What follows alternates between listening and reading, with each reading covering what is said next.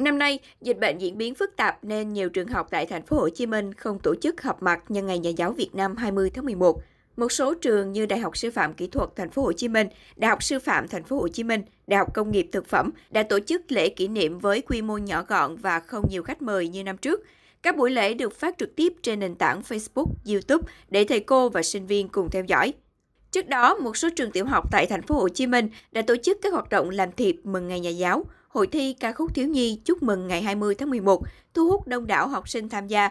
Dù không được gặp trực tiếp để chúc mừng, cảm ơn thầy cô trong ngày nhà giáo, nhưng các em đã chọn nhiều hình thức như vẽ tranh, làm thiệp, viết thư để bày tỏ sự tri ân. Với cô giáo Hoàng Anh, giáo viên lớp 2 trên 5 trường tiểu học Hòa Bình, quận 1, đây là kỷ niệm đặc biệt nhất trong hơn 30 năm gắn bó với nghề. Thông qua các buổi học online, các em học sinh đã viết thiệp, tự quay video hát chúc mừng thầy cô nhân ngày 20 tháng 11 qua ứng dụng Zoom. Không có những tràng pháo tay hay hoa tươi như mọi năm, nhưng cô Hoàng Anh rất vui và xúc động khi nhận được những món quà tinh thần từ học sinh. Cả cô và trò đều mong muốn được quay lại lớp học trong thời gian sớm nhất.